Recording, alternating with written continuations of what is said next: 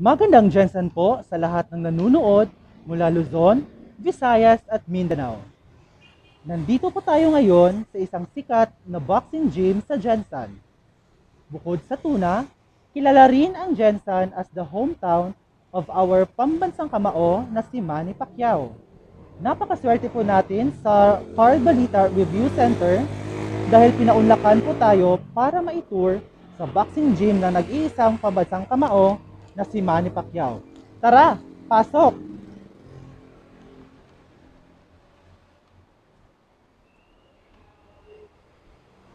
Karamihan sa ating mga Pilipino ay kilala lamang si Manny bilang buksingero. Pero lingid sa ating kaalaman na may mabuting kalooban din si Manny kaya mahal na mahal siya ng mga Pinoy at todo suporta tuwing meron siya ang laban. Walang gaanong traffic, mababa ang bilang ng krimen at posibleng ito rin ang dahilan kung bakit siya naging senador ngayon. Ngunit sino nga ba talaga si Manny Pacquiao? Ang real name ni Manny Pacquiao ay Emmanuel Dapidran Pacquiao.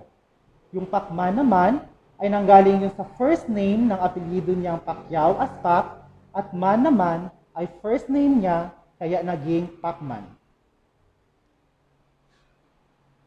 So, inintroduce kay Manny ang boxing at the age of 12 ng kanyang tito na si Sardo Mejia. Pinanood ni Manny yung laban ni na Mike Tyson at James Douglas noong 1990 kasama ang kanyang uncle at doon na nagsimula ang pagbabago ng kanyang buhay. Nag-training din sila ng kanyang tito sa home gym and after 6 months of training, nag-start na si Manny sa pag-boxing in a park dito sa General Santos and eventually, nag-travel na sila to other cities to fight higher ranked opponents.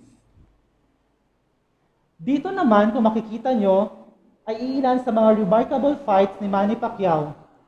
Yung sa pinakataas, andyan yung laban ni Pacquiao kontra kay Marco Antonio Barrera noong November 15, 2003.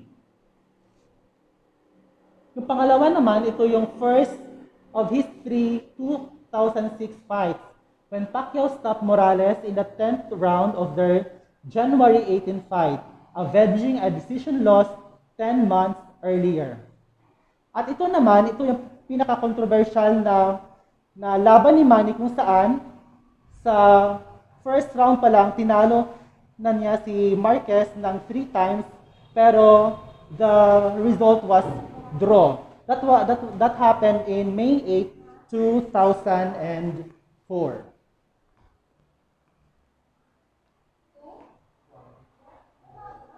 So ito naman, ang laban ni Manny Pacquiao versus Hatton na tinawag na Battle of the East and West noong May 2, 2009 na nangyari sa MGM Grand Las Vegas.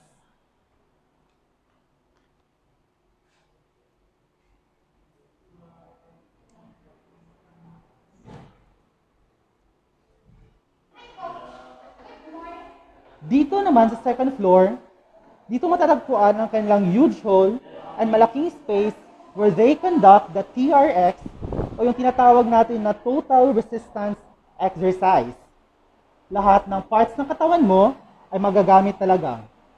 Meron din silang Zumba, Yoga, and aerobic classes.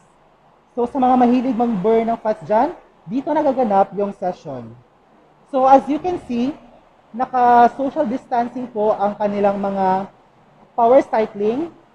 That is to follow the safety and health protocols po na pinatutupad dito sa sa bayan ng General Santos.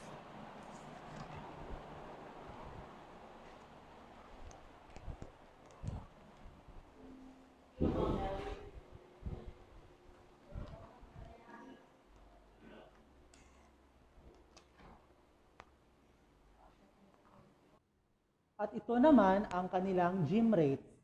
Para po sa mga standard clients, ang membership fee po nila ay 1,750. Para naman sa mga students, ang kanilang gym rate ay 1,250.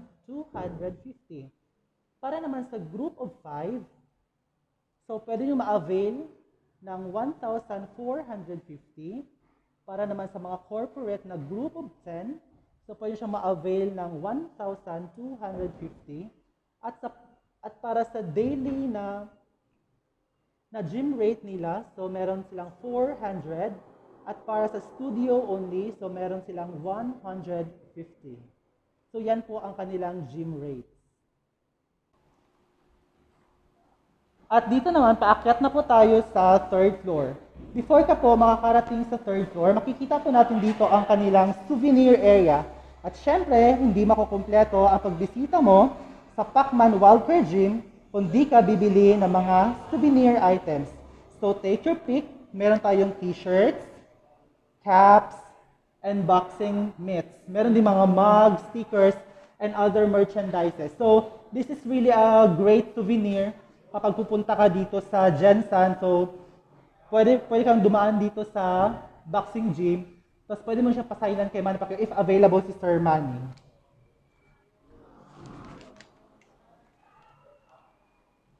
Okay, so the Pacquiao have always invested a lot of their earnings in the city. And one such investment is the Pacman Wildcard Gym. Sinimulan nilang patayuin ang gym na to noong May 2013. On the way up, you will notice the usual pictures of framed pictures of this highly regarded couple. Yan po ang kanyang misis na si Jinky Hamora Pacquiao, na she is a socialite, a media personality, an occasional film producer who served as the vice governor of Sarangani in 2013 and to 2016. Manny and Jinky first got married in a civil wedding noong 1999. A year after, the, the couple officially tied the knot in a church wedding noong May 9, 2000. So ito na nga ang naging official date nila. So yung gym talaga is nasa third floor. So at this moment, meron mga available na trainers to assist clients para ma maging fit at healthy. And of course, they're still following the healthy protocols para naman that is ito po kasi yung pinapatupad ngayon sa sa sa Jensen. Ang Pacman Wildfire Gym features a state-of-the-art gym equipment. Meron silang cardio elliptimal na may overview looking ng SM Jensen and meron din silang wide range of weights, dumbbells, and other exercise paraphernalia.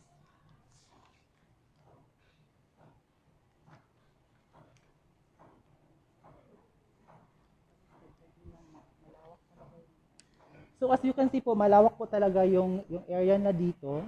Meron sila mga clients. Pero of course, they're still following the healthy and safety protocols. So as you can see, separated po yung fitness gym and then yung boxing gym. So dito naman sa boxing gym, kung gusto mong matutong mag-boxing, meron din tayo mga resident boxing instructors na ready mag-assist sa inyo. Kung gusto mo ng kasparing, meron din tayo niyan at talaga sulit na sulit ang bayad nyo.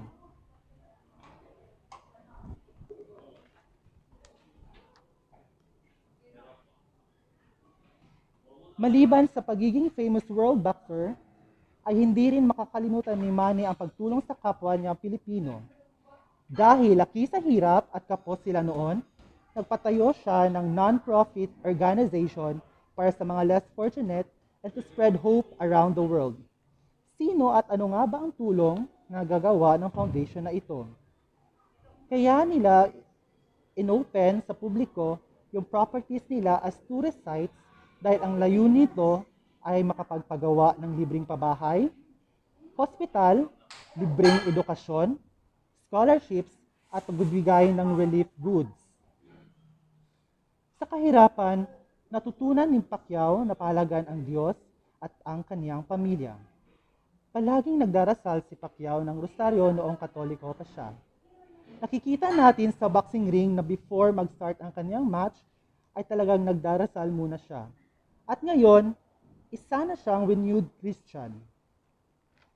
Sa makatunayan, noong 2014, nagpatayo siya ng simbahan dito sa General Santos at tinawag niya itong The Word for Everyone. Bakit siya tinawag na The Word for Everyone? Ito ay dahil He wants everybody to be influenced the way God influenced His life. Aside sa church na pinagawa niya, meron din siyang resort dito sa Sarangani na pinalangan, pinangalanan niyang Pacman's Beach Resort na may 215,950 hectares. Meron din siyang mismong hotel na Roadhouse Hotel. Aside from spacious and comfy rooms, Pacman Hotel has a restaurant serving delectable cuisines and syempre, mas try din ang kanilang tuna dishes. So ayan, sana nag-enjoy kayo sa field trip natin dito sa General Santos. Mula Fishport ay ibinyahe namin kayo papunta sa sikat na gym ni Manny Pacquiao. Again, this is Christian Gagni from the tuna capital city of the Philippines and home of the champions, General Santos City. Tara, biyahe!